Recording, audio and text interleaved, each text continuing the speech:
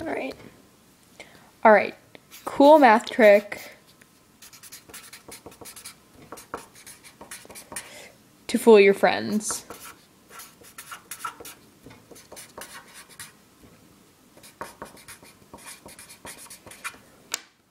By Grace Mari.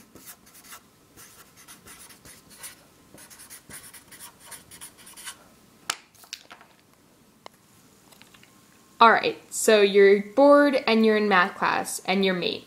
Now, since you're me and you're bored in math class, you always want to try to figure things out that go beyond your math homework because frankly, math can get a little bit dull and boring sometimes.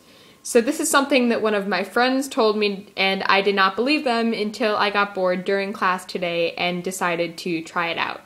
So now you pick any number between 1 and 20. So for our purposes, to make it easy, we'll pick 5.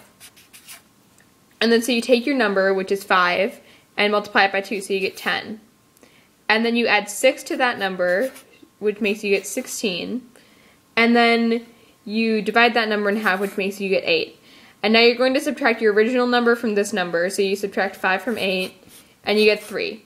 Now, if you uh, do the same operations on any number between 1 and 20, you're going to get 3. Well, don't believe me? Well, here we're going to take another number. Let's say we'll pick 9. And we'll uh, multiply that by 2, so you get 18. Add 6, so then you get 24. Divide 24 by 2, so you get 12. Subtract 9 from 12, and you get 3. Now, you're probably wondering, what if the number isn't between 1 and 20? Will it still work? The answer is no, it will not still work. But of course, you're going to want me to show you that because you are a math genius. And here is where I prove your dissenting opinion wrong. And if you agreed with me all the way through, then you can pause this video. Or if you just want to find out, even if you had agreed with me. But if you had agreed with me, then you are probably my favorite math student right now, even though I am not a teacher and don't plan on being one. So now we're going to take a number bigger than 20, 22. And we're going to double it, so that's going to be 44. Uh, add 6, so that's going to be 50. Divide by 2, that's 25.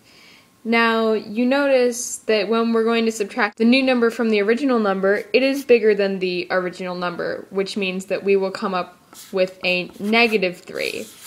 So, it works, and you're going to get negative 3 every time you get a number bigger than 20. So, no, it does not become 3, but we have just made a new discovery. So, if you want to see more math videos from me, in my times board, then please click the subscribe button and thank you for watching.